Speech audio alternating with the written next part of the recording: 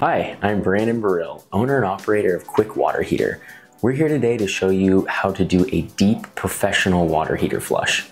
So I wanna tell you about the benefits of this. Number one, it increases the efficiency of your water heater. It's gonna make the water heater last longer and it's gonna make sure that the heat actually gets from the, the flame into the water as efficiently as possible. At the end of the video, I'm gonna show you a bonus how you can save three to $10,000 on your water heating expenses. So let's get started.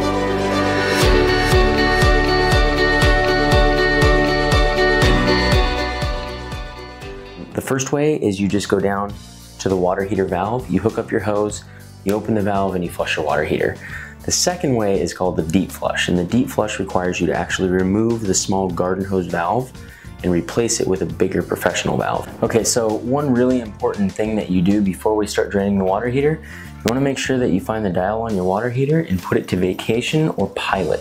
So first step in the flush is just open the valve.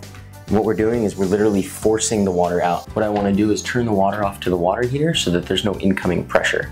Secondly, in order to get the water heater to drain, I need to let the air into it. The theory is similar to that of like if you hold your finger over a straw, the straw won't actually drain until you remove your finger.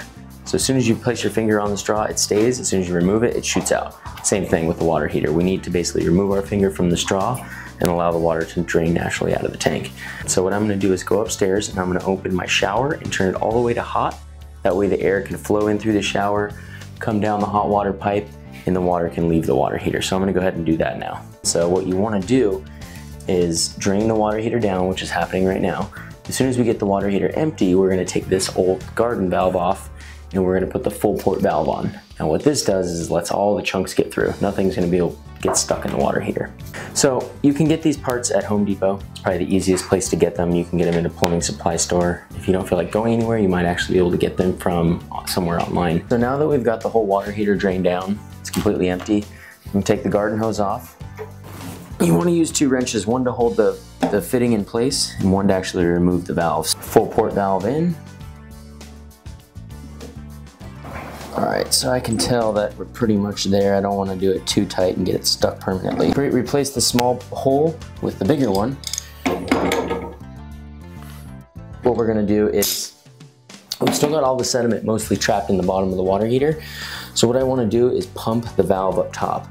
So we're gonna go up to the top of the water heater, find this valve,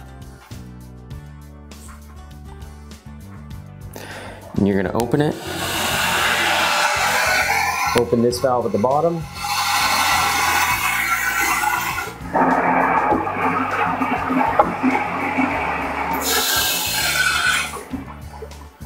So we're gonna repeat this process a few times. What I'm doing is shooting water into the bottom, stirring it all up, and then allowing it to be released through this main valve here.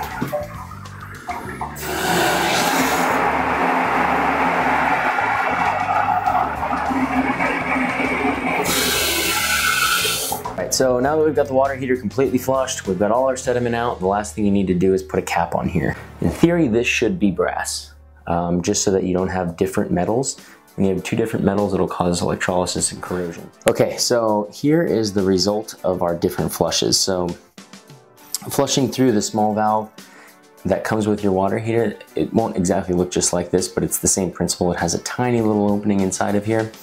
Uh, resulted us about, I don't know, maybe an eighth of an inch, quarter of an inch. And if you look down in there, the, the chunks are really small. It's just the fine sand that made it out.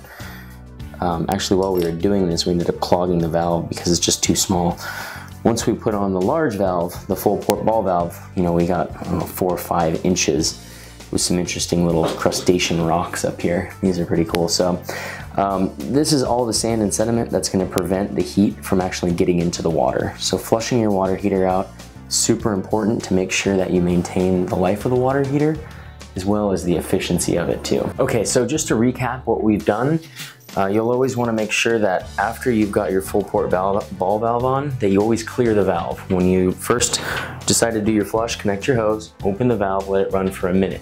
What that's doing is getting all the large chunks power flushed out of the valve so that it can run clear. Um, the next step is going to be to shut off your ball valve up top and just wait for the water heater to drain. You're going to have to open a hot water faucet in your house or potentially pop your TP valve. I wouldn't recommend this one, it can cause more problems. Open a hot water faucet and then you'll notice that the water will start flowing out. Once you've got it completely empty, you're gonna go back and pump the valve a few times. So I'd suggest doing it three times. What that does is it's gonna stir the water and then let it fill up and flush it for five minutes and that's gonna pretty much stir everything up and make sure that it gets out of the valve. So that's how we do a deep flush. Okay, so now that we've completed the flush, um, I promised you that I was gonna share a bonus with you on how to save three to $10,000 with your water heating systems. Um, first thing we've done is, is do the flush. That's super important. That's something you wanna do once a year. That's probably only about 10 to 15% of what's actually gonna save your water heater though. The, the magic potion is in a different step. The step only takes about 10 minutes to do. It'll make your water heater last anywhere from 20 to 50 years. The parts are cheap, it's not hard to do. If you wanna learn how to do this in a simple 10 minute process, click the link. It's probably gonna either be below, it could be to the side or possibly above. Click the link and I'll show you exactly how to make your water heater last forever and save you thousands of dollars along the process.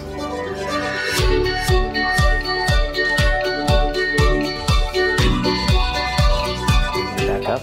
I want to show you the part about the mm-hmm. how do you the third. okay, it's broken. Well, we were going to, but this is broken.